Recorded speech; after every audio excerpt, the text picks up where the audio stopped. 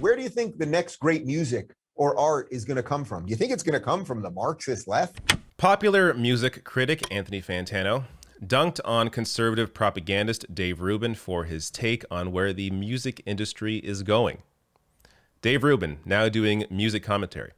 And then uh, Fantano proceeded to embarrass every conservative that came at him. So this is so enjoyable. Uh, first, let's get to the least enjoyable aspect of this, which is the Dave Rubin clip. Here is uh, Dave Rubin sharing his thoughts on art. People need to see, and this goes to your question about what conservatives do.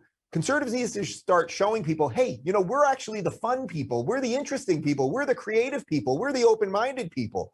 They're all hysterical and angry and all of the things they purport us to be but let's get out there and show people that's not who we are. We're actually having fun. And I mean, try to even think about it this way. Where do you think the next great music or art is going to come from? Do you think it's going to come from the Marxist left, where you can't have any individual expression? Or do you think it's going to come from this new thing on the right? I mean, the answer is pretty obvious. All right, there you go. Dave Rubin getting into music and understanding where the industry is going. Just one problem Dave Rubin doesn't know anything. And in fact, Anthony Fantano, who is incredibly knowledgeable on this subject, shared his thoughts on Twitter, responding to Rubin's clip saying conservatives are not fun, creative, smart, empathetic, or interesting. That's why they don't make great art. Their art sucks ass. Period. The next great music, quoting Dave Rubin, will never come from the right ever. It hasn't so far, so why would it ever in the future? And he didn't stop there. So he uh, followed it up by saying, um, here we go, saying the best music consistently comes from the next generation of creatives looking to take risks and shake up the status quo, aesthetically or socially. Conservatism, by its very nature, isn't up for being daring. Radical change is literally not in the philosophical equation. I think Fantano makes an excellent point here. But of course, conservatives lost their goddamn minds. And uh, the response is I mean, what I'm showing you here is just a tiny fraction of the reaction that Fantano got. But let me share some of the reactions here. So um, Benjamin here replying saying Bach was a conservative. Fantano replying saying Bach died in the 1700s, you dumbass. Whatever warped conception of conservatism you have today doesn't even apply to the aristocratic socio-political context he existed in. He lived under a monarchy and would have shit his trousers if you showed him an iPhone. Oh God, why is Fantano so goddamn talented and funny? All right, next re- next reply here.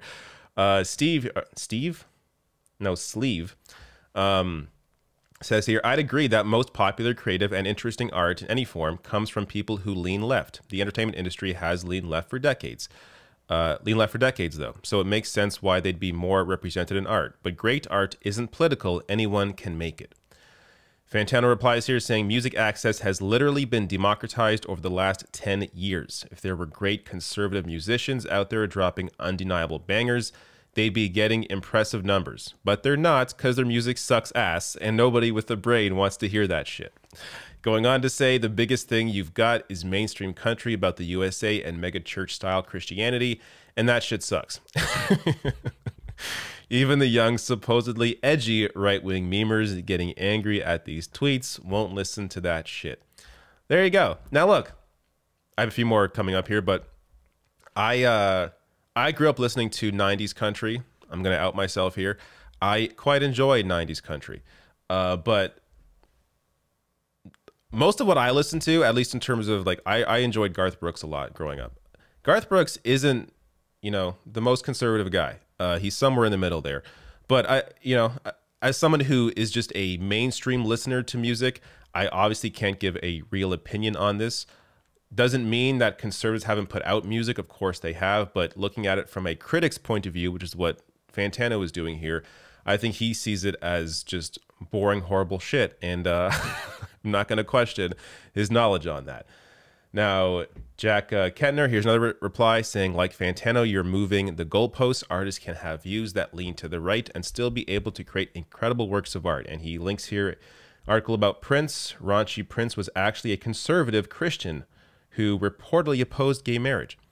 And uh, Fantano replies to that saying, Stupid post.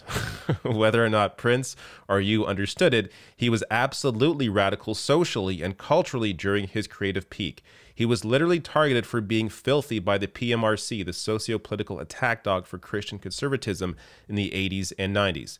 If the Christian conservatives of those decades had their way, Prince's most classic albums would be edited to death or thrown out. Same with NWA, same with Kiss, same with any artist saying anything worth hearing. You have no historical context for this convo. Please shut up. I can just imagine what it's like being in a position where you know so much about a topic that no one else can even come close to you and trying to deal with these people that uh, don't know anything about anything, but that's clearly what Fantano was dealing with. Now, let me. This is the the best place to end here. Lauren Southern, who of course is a well-known conservative, quote tweeting Anthony Fantano here saying Frank Sinatra donated four million to Ronald Reagan's campaign. Fantano replied saying, "Of course, Lauren, great replacement Southern's go-to jazz singer is the definition of limited range and presentation over ability. Plus, he didn't even write his best stuff."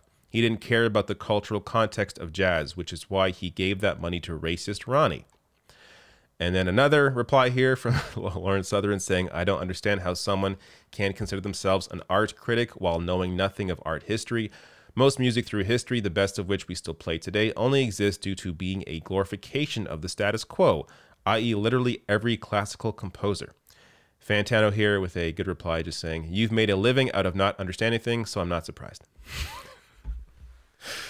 Oh my goodness. I did not expect this week to see Fantano dunking on Dave Rubin and uh, a whole lot of conservatives, but I got to say, I'm glad it happened. It was highly entertaining. And Fantano is, you know, forget industry, forget uh, whatever, you know, YouTube category you put people in.